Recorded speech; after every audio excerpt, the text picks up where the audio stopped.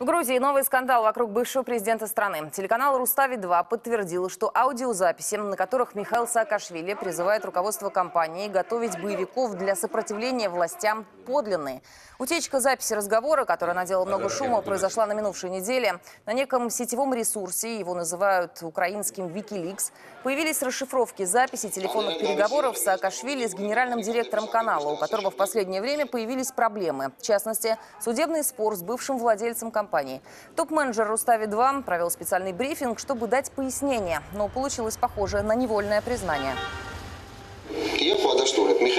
В первую очередь Саакашвили мой друг, и я прислушиваюсь к его мнению, однако не намерен выполнять его советов.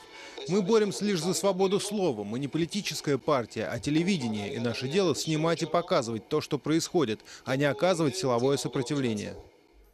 Скандальная беседа состоялась 19 октября. В ходе ее глава компании пожаловался на то, что может утратить контроль над каналом, если суд примет решение вернуть Рустави-2 бывшему владельцу. На что получил дружеский совет от бывшего президента Грузии, а ныне губернатора на Украине, оказать сопротивление. Получается, законному постановлению властей противопоставить революционный сценарий с боевиками.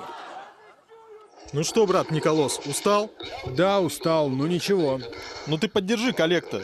А как вы это себе представляете? Работайте по революционному сценарию. Вы должны оказать сопротивление властям при возможном захвате телекомпании. Постройте баррикады, именно забаррикадироваться и спокойно стоять несколько недель. Вы должны выстроить большие баррикады. Надо уже начать готовиться. Железки и так далее используйте. Постройте размером с тюремный забор. Затем несколько охранных пунктов поставьте. Ясно, я понял. Вы должны оказать физическое сопротивление, чтобы очень сложно было войти. Баррикады, много железных конструкций. Сейчас начинайте готовиться. Если вы сможете продержаться одну неделю, им уже сложно будет. С финансированием проблемы у нас, надеюсь, поможете?